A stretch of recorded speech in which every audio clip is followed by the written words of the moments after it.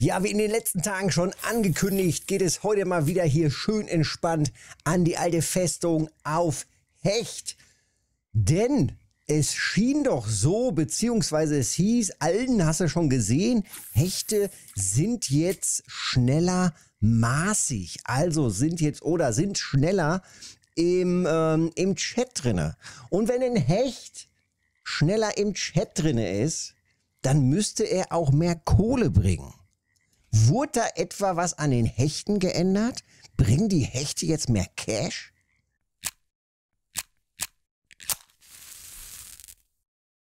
Ja, und weil wir das ja als äh, Thema schon in den letzten Tagen hatten und äh, ich auch schon gesagt habe, ja Alten, dann teste ich doch mal demnächst wieder alte Festung, habe ich gedacht, komm, guckst du mal, wo geht denn da gerade was? Und da war hier gerade tatsächlich ein Spot im VK für Hecht an der alten Festung. Und ähm, das hier mit einem Köder, der vielleicht gar nicht so populär ist. Und ich bin mir auch noch gar nicht so sicher, ob ich da dranbleibe, weil das schon so ein bisschen, äh, ein bisschen tricky ist. Es geht ja auch immer gerade bei Wobblern und Hecht. Und äh, ja, da muss man natürlich auch immer darauf achten, wie ist die Tauchtiefe.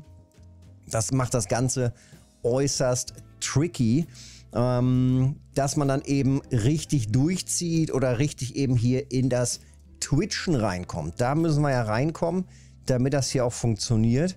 Und da geht es halt immer darum, um die Tauchtiefe. Manche Wobbler, also grundsätzlich gesagt, was richtig gut funktioniert, da ist er, 1,4. Ich nehme erstmal alles mit. Mir ist gerade komplett wurscht, wie viel die alle wiegen.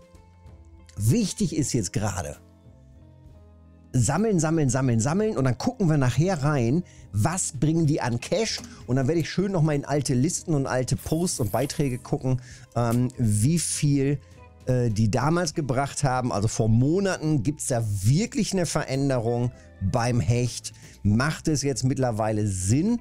Es gab eine ganz, ganz, ganz lange Zeit, wo Hecht einfach der absolute Burner war. Da wurde Hecht mal eine Zeit lang ein bisschen geboostet rein kohlemäßig.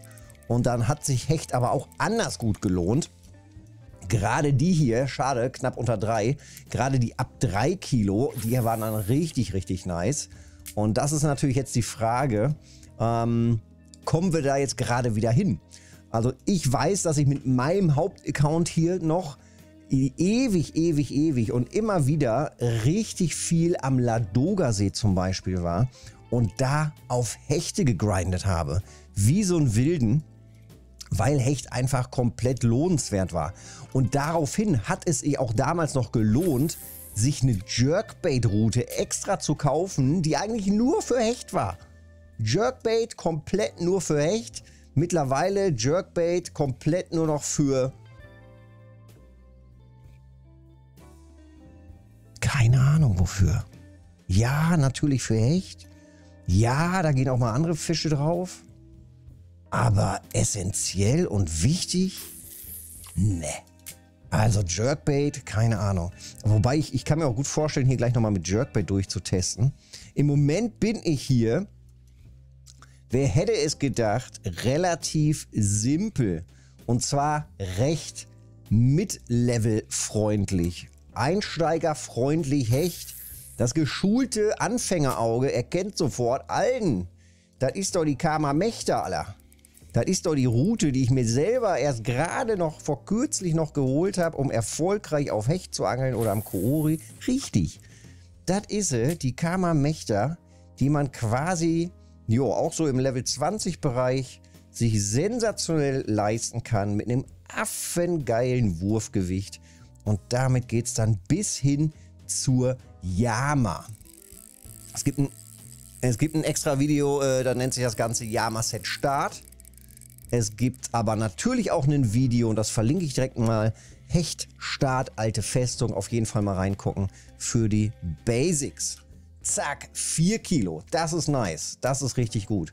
Das heißt, ich gehe jetzt hier nicht gerade äh, mächtig auf die Basics ein, sondern äh, wenn ihr die Basics noch benötigt fürs Hechtangeln und äh, so wann beißt der, welche Uhrzeiten und so weiter und so weiter, dann da auf jeden Fall mal reingucken. Ähm, ich bin gerade ganz froh, ich ziehe jetzt hier einfach mal raus. Ich, ich weiß ja nicht genau, wie und wo gewor geworfen wurde, wo man hier genau fängt, aber ich teste hier jetzt einfach mal, ich würde sagen gleich mal zwei Stellen. Einmal diese Stelle hier, scheint gerade ganz gut reinzuballern. Ah, nicht ganz zumachen, scheint aber gerade richtig gut zu gehen hier für ein Hecht. Sensationelle Größen, das macht gerade richtig Spaß, auch kohlemäßig. Und äh, die zweite Stelle zeige ich gleich auch nochmal. Das ist die Stelle aus dem äh, Tutorial-Video oder Hechtstart alte Festung-Video. Ähm, die geht halt auch immer wieder, ne? da muss man auch immer wieder hin. Wir sind hier unten, wer es noch nicht erkannt hat, an der Brücke zum Fuß. Also ganz unten rechts auf der Map von der alten Festung.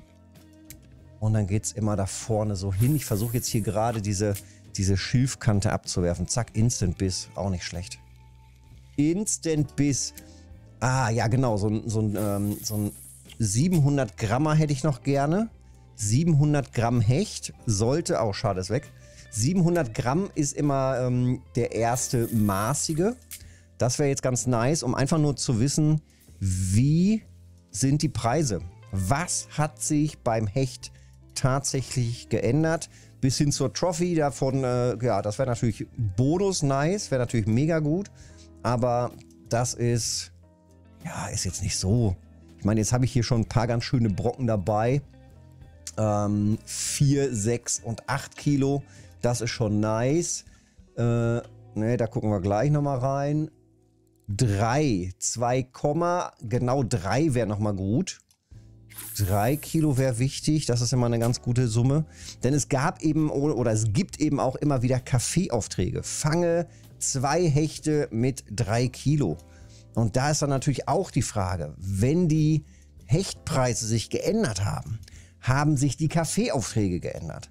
Dann gab es am Ladogasee Fange drei Hechte mit einem Gewicht von 7,5, glaube ich. Das war schon ein richtig schwieriger Auftrag, der aber auch übelst die Kohlen gebracht hat. Also das ist halt jetzt die Frage, ist das wieder, ja, ohne große Ankündigung oder sowas wieder so zurückgekommen? Sowas wird ja auch eigentlich selten angekündigt. Ähm, schon manchmal, wenn da ein bisschen was überarbeitet wurde, ja, da gibt es so kurz so einen Hinweis, aber eben nicht so im Detail. Ne? Also es wird, kommen halt nicht irgendwie die Details von RF4, wo dann gesagt wird, ja, ein Hecht ist maßig ab so und so viel Gramm. Ein Hecht ist in Chatgröße, also das heißt in dem Moment, wo der im Chat aufplöppt mit so und so viel Kilo. Das, also diese Infos kommen halt immer nicht. Genauso wie eben auch keine Infos äh, da sind, ab wann was Trophy ist. Das ist ja alles Community. Arbeit sozusagen. Das heißt, das suchen wir uns halt zusammen. Wir ja, schreiben das dann in Listen und tauschen uns darunter aus und so läuft das Ganze. Ja, grundsätzlich zum Hecht. Ne, natürlich hier Morgenstunden, das ist die Primetime. Auch gerne mal bei äh, leicht verregneten, verregnetem Wetter. Hm, Deswegen muss ich jetzt ein bisschen Gas geben. Ich versuche mal jetzt so bis zur Mittagszeit das hier so einigermaßen durchzuziehen.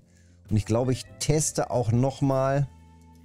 Ja, es ist ein bisschen tricky mit diesem Köder. Das hier ist der Köder gerade.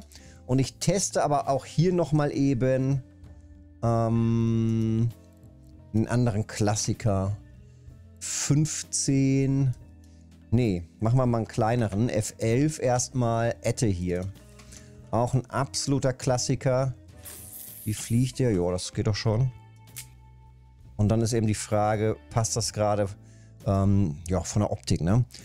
Was halt für, für alle Kunstköder immer zählt, und das ist, glaube ich, wurscht. Also ich würde sagen, sogar bis hin zum Nordmeer, wo man das wirklich merkt, Farben und Formen ändern sich immer wieder. Also die Vorlieben der Fische ändern sich und äh, dementsprechend haben die dann immer mal wieder andere Vorlieben an Farben und Formen der Kunstköder.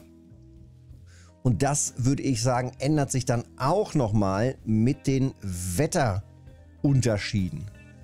Das heißt also, wenn irgendwo mal ein Beitrag steht und man geht dann einfach hin und denkt sich, boah, geil, Alter, da ist ja ein Beitrag, das kopiere ich einfach wieder eins zu eins Brain off gestellt, einfach eins zu eins kopieren. Jetzt gehe ich dahin, probiere den Spot. Ich fange hier überhaupt gar nichts. Was ist da los? Komplette Scheiße. Ja, dann liegt das daran, dass vielleicht das Wetter ein unterschiedliches ist oder es sich schon wieder ein paar Tage vergangen, äh, schon wieder ein paar Tage vergangen sind und die Fische wieder andere Vorlieben haben. Grundsätzlich, wenn solche Spots da sind, sind die auch später immer noch da. Aber halt die Vorlieben der Fische, die ändern sich. Das ist halt der Knackpunkt. Also als pfiffiger Angler geht man natürlich nicht nur mit einem Köder dann an so einen Spot, sondern testet dann fünf, sechs verschiedene Farben, verschiedene Führungsmethoden. Was wir zuletzt an der Yama auch wieder festgestellt haben, ist, dass ähm, momentan eher so Jig-Führung triggert und weniger dieses Durchleiern. Also im Moment ist so Stop and Go oder so Jig oder so ganz langsames Jig, also noch nicht mal mit Führung, ist momentan wohl an der Yama nochmal besser. So, jetzt bin ich hier gerade durch. Im Moment scheint es so, als ob Rot Prio hat. Und jetzt gehe ich aber erstmal noch zum anderen Spot. Gucken wir da nochmal eben rein. Ähm, denn hier ist es auch immer richtig, richtig nice. Kleiner Nachteil hier sind diese Pömpel, die abgestorbenen Bäume.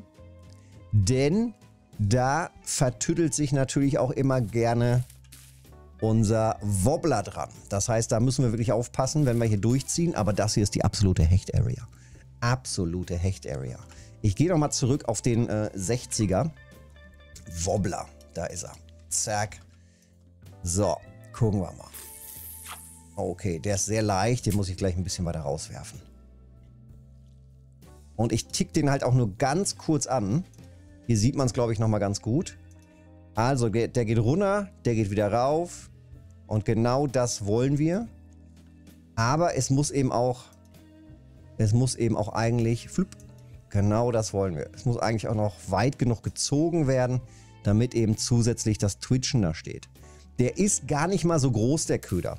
Aber dafür zieht er schon ganz gut Echte hier ran. Ne? Nicht schlecht. So, jetzt vorsichtig ziehen.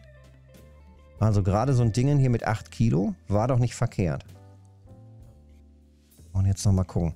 Also wie gesagt, die Führung hier ist einfach das, das, ja, das Trickigste, das Gefährlichste, um zu gucken, läuft der Spot oder nicht oder der Köder oder nicht.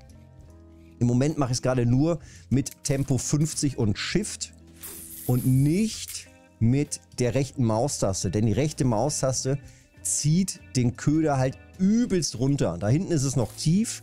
Das ist natürlich, da geht es noch. Aber wenn man hier vorne halt ankommt, dann kann man eben nicht wusch mit der rechten Maustaste mal eben die Route rüberziehen, damit der Köder richtig schön nach unten geht. Dann gräbt er sich ja quasi in die Erde hier rein, weil das eben so flach ist. Deswegen eben nur mit Tempo 50 und einer ganz leichten Bewegung, zack, da ist schon der Biss, einfach nur so ganz locker runterdippen immer wieder. 4, sehr gut. Und ähm, gucken, dass der an der Oberfläche immer wieder schön hoch geht.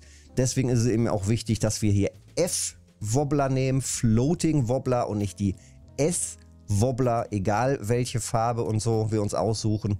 Ähm, da sollte ein F vorstehen und dann lübt das auch. Wenn ihr jetzt irgendwelche Köder habt mit einem S davor, dann könnt ihr die direkt weglassen. Die kann man vielleicht zum Schleppen nehmen. Die sinkenden Wobbler. Aber deutlich besser klappt das eben hier gerade für Hecht mit den F schwimmend, floating, weil die eben, zack, nächste, weil die eben wieder schön nach oben treiben und in dem Moment, wo sie oben hochgetrieben sind, zack, kicken wir sie wieder runter mit einem kleinen, ja, perfekt, mit einem kleinen Schub nach vorne. Das ist natürlich ideal. Ich nehme auch gerne jetzt gerade die kleinen mit. Ich hätte aber gerne einen mit 700 Gramm oder so. So annähernd 700 Gramm wäre schon nice, um ungefähr zu kriegen, den Wert rauszukriegen, wurden die Hechte gebufft oder nicht. So, wir sind zurück in der Base. Ich habe jetzt noch ein bisschen durchgezogen. Wir gucken gerade mal rein. Es ist gerade kein Kaffeeauftrag drin, aber wir gucken jetzt mal eben hier kurz nach den Preisen. In Gänze haben wir jetzt hier in Fangzeit drei Minuten zurück, also sagen wir mal grob 15 Minuten, fast 200 Silber gemacht. Das ist krass. Das ist mal krass. Und jetzt muss ich mal eben was vergleichen. Haben wir was Vergleichbares? Ja, haben wir. Also, wenn wir das vergleichen mit, was habe ich hier? Wir haben hier einen Spot im Discord vom 7.11.23. Ist also jetzt schon einiges her. 7.11.23, ich vergleiche hier mal den 8 Kilo Hecht, 8,5 mit 45 Silber mit 8,1 43 Silber. Ich sehe da keinen Unterschied. Also gleicher Preis. Gucken wir bei den kleineren Hechten. Gibt es da einen Unterschied? Ich gehe mal runter. Ähm, haben wir hier irgendwas Vergleichbares, Kleines? Er hat hier zum Glück eine 3, 800er. Hatte ich nicht auch einen 800er? 900er. 2 Silber, 15 bei 800 Gramm. Ich bin bei 2,49 bei 930. Also kommt auch ungefähr hin.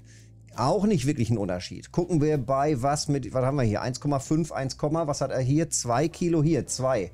Ziemlich genau gleicher Preis. Oh, warte mal. Da haben wir, glaube ich, eine Änderung. 2 Kilo Hecht. Da haben wir eine Änderung. Ähm, und zwar 2 Kilo Hecht vor Monaten noch 5 Silber. Jetzt liegt der 2 Kilo Hecht bei 11. Bei 11 Silber. 2,8. Haben wir noch irgendeinen Vergleich in der Nähe? 3, habe ich glaube ich nicht. Hat er irgendwo einen Vierer? 3,6 zu 4,1. 3,6, ja, aber das ist immer noch ähnlich. Aber ich glaube, da sieht man den Unterschied. 2,9 habe ich irgendwas hier. 2,9 zu 2,8 habe ich. 7 Silber, 2,9 zu jetzt hier 15 Silber. Also die Mittelklasse und das sind die, ja, weil sie wahrscheinlich eher im Chatbereich sind. Weil sie jetzt eher in Chatgröße sind als damals mit 3 Kilo. Das passt schon. Das kommt ungefähr hin. 3 Kilo Hecht, damals 17, jetzt hier der 2,9er oder fast 3 Kilo 15. Das ist doch ungefähr in diesem Bereich. Also, ja, es gab eine Änderung. Ja, Hecht macht jetzt, und zwar in diesem Bereich hier, um die 2 bis 3 Kilo, maybe. Die Frage ist, wo ist, wo ist genau der Sprung? Irgendwo hier wieder Sprung sein. Ist es vielleicht genau 2 Kilo? Ist es vielleicht 1,9? Da müsste man einfach genau nochmal so ein paar Fische mit mehr Abstufung fangen. Also testen, testen, testen. Im Großen und Ganzen kann man aber sagen, Hecht ist wieder lohnenswert geworden dadurch, dass eben hier diese Größe deutlich mehr Cash macht. Also doppelt so viel, drei, ja doch ungefähr doppelt so viel an Cash macht. Ziemlich genau sogar. Ja, wenn ich das vergleiche, das ist glaube ich hier der, mit der beste Vergleich. Der 2,8er zu dem 2,9er oder beide fast 2,9. Das ist ziemlich genau doppelter Preis beim Hecht.